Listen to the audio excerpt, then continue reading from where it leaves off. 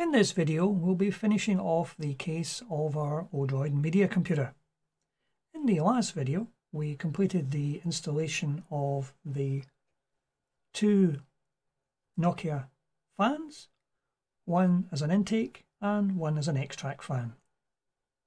What I wanted to do in this video was to have a mechanism by which the LEDs on the main motherboard could be displayed on the front of the unit. How we've achieved this is by use of a fibre optic cable which runs round, behind and out to the front of the unit.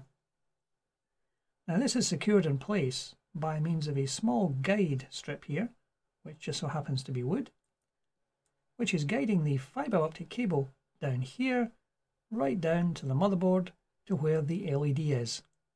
In this case it's directly mounted over the LED which displays activity on the M2 SSD card.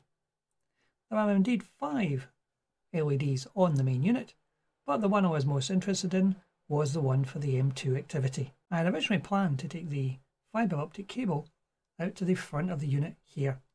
However, fibre optic cables of this diameter are fairly brittle and not easily bendable over short distances. It was much easier to take a much longer length of the cable, tuck it into the grooves in the MakerBeam and guide it into the front just above where the power switch is. This is in fact secured into place by a small dab of Gorilla Glue. So when we apply the power cable to the back of the Odroid,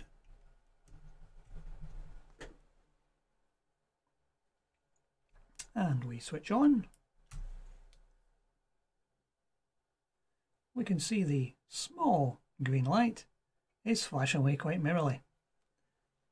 The fibre optic cable is guiding the light from the LED on the motherboard all the way around to the front of the unit.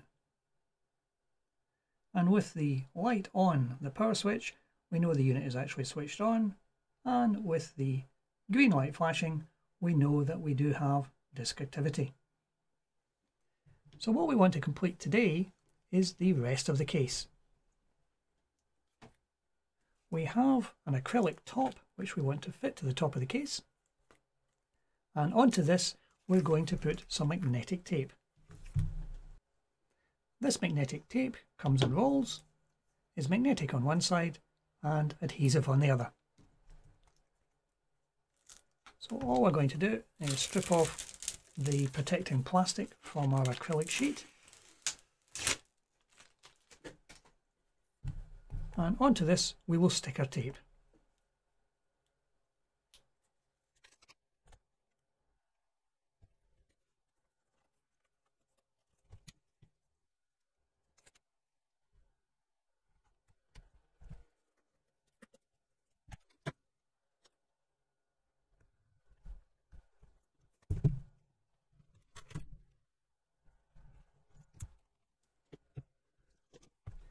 And the final piece of tape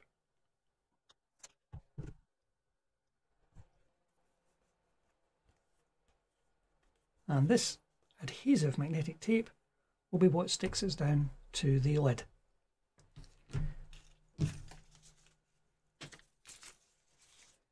Now, as MakerBeam is aluminium, the magnetic tape will of course not adhere to it.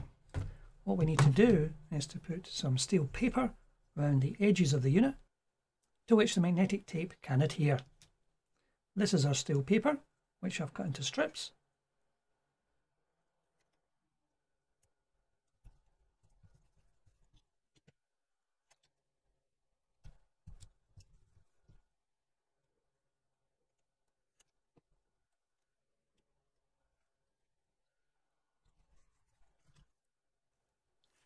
And the final piece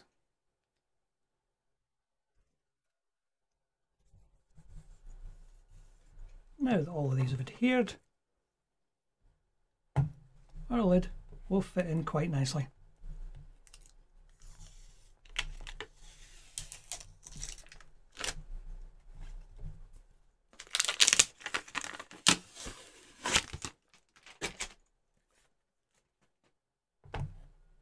like so.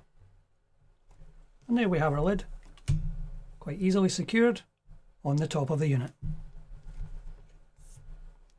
And easily removed should you need access to the main case.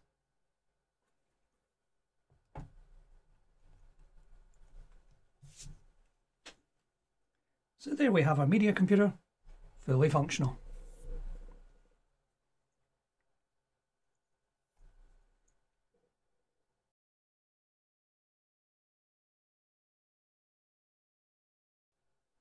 That's it for today.